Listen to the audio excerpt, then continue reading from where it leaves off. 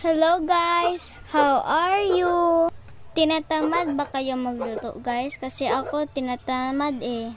Guys, today we're gonna do ano, lazy pasta. First, i-ready lang natin ang pasta. And powdered spices lang igamit natin. So, gagamit tayo yun ng garlic powder, onion powder, at saka salt and pepper. We will use margarine as well, milk, and cheese. Gagamit lang tayo ng kanto na para madali.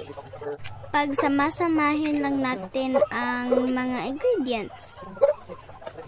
Ibuhos ang milk at saka itimpla natin ang carbonara mix.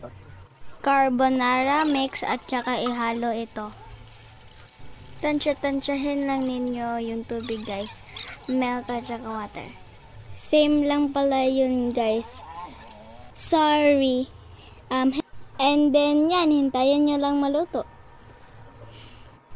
What do you think? Have you tried this before? Lagay nyo lang lahat at saka hintayin maluto. Ang tamad talaga to ng version guys. Pwede pa kayo maglaro ng games habang naghihintay at malood ng palabas. Yan, lagyan na natin ng cheese para mas masarap. So, ako guys, madami ako nilalaro. Roblox ay ano, ay Murder Mystery, Next Murder Mystery 15, at saka Murder Party, at saka Murders vs. Sheriff, at saka ano, Evade.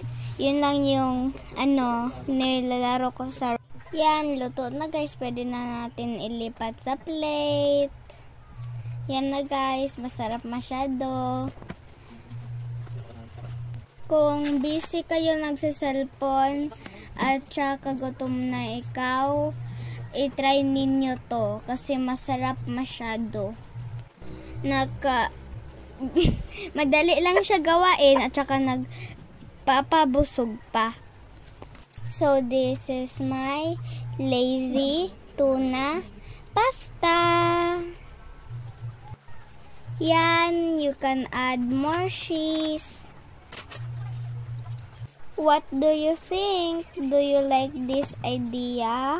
Masarap talaga to guys. Tim, ma, tim mo oh, panong ko pagkain. 1 to 10. 1 to 10, um, 10. So, bye guys. Make sure to like.